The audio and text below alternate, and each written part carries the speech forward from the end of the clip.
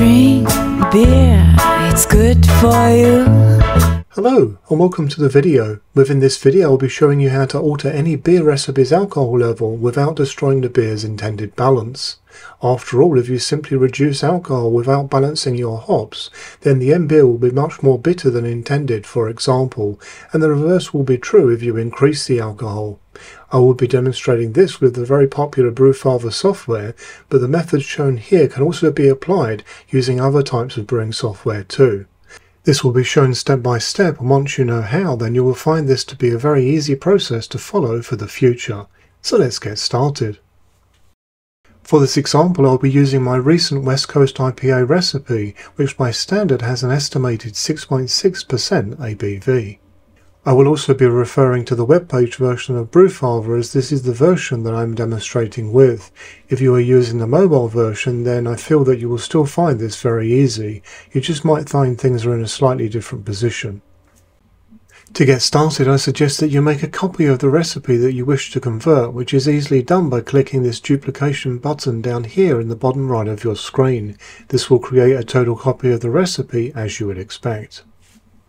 The name of the recipe, however, will not be copied, which is a good thing as I see it, as I strongly suggest renaming the recipe with something meaningful, so that if you need to refer to it in the future, you will know exactly what it is just by its title. This will save you time later.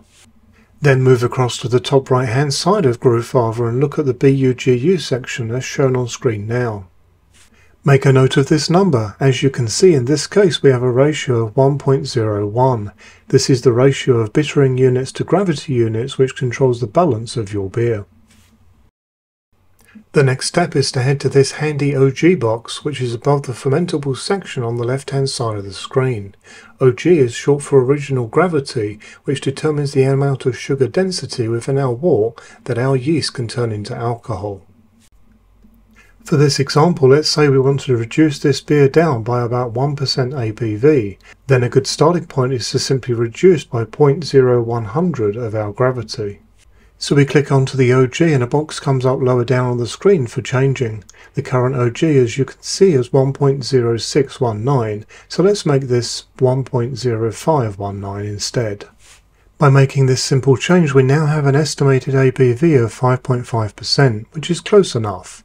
This can be seen on the top right of the screen, but for ease I have added this onto the screen to show you here. Say we want to reduce this more, then we can go down another 0.0100, making this one's predicted gravity 10419, which you can now see has reduced this beer by a further 1% ABV, resulting in a 4.5% beer. So we've now fixed our ABV. However, if we now look back at our BU-GU ratio, you will see that this has gone sky high with a whopping 1.74 ratio, meaning that if we leave this as it is, then our end beer is going to be incredibly bitter and thus will be totally unbalanced. So we now need to restore the BU-GU ratio to its former and intended level of 1.01 by tweaking our IBU.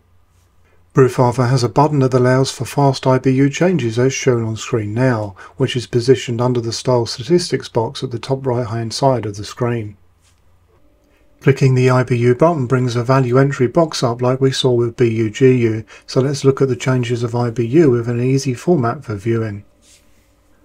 I'm going to take a stab guess here and predict 42 IBU.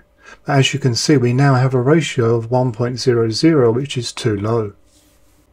Let's try and get the extra point now with 43 IBU. But we now have 1.02, which is of course too high. So the winning number now just has to be 42.5 IBU, and you can see now that we have the design balance of a BUG ratio of 1.01. So as you just saw, this can take a little trial and error, but in principle this is very easy to do. This method will also work if you wish to increase your ABV level too. Before finishing this video, I do want to share some important further information with you. When applying this technique, I suggest that you do keep in mind that with certain styles this may not be totally to the individual's taste. Each beer style has a certain range of ABV, which is popular simply because this is what has been found to taste best. You can see these style guidelines within Brewfather which share suggested ranges for each of the vital statistics, including ABV, as you can see on screen now. However, it is fair to say that taste does vary, so experiment for the taste that you desire, of course within the ABV that you also wish to have.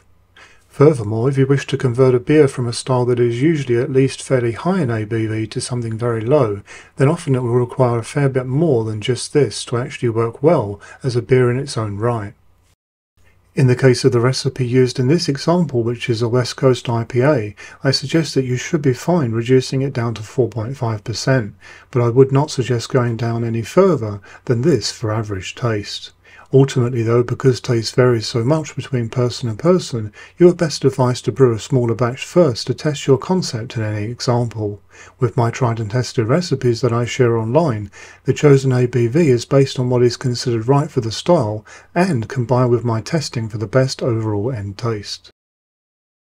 I do hope that you found this video useful, informative and interesting. If so, why not consider liking and subscribing. For further support you can join the channel's Facebook group and if you would like to support the channel then check out the channel's merchandise store as all profits go back into the channel. Until next time, happy brewing!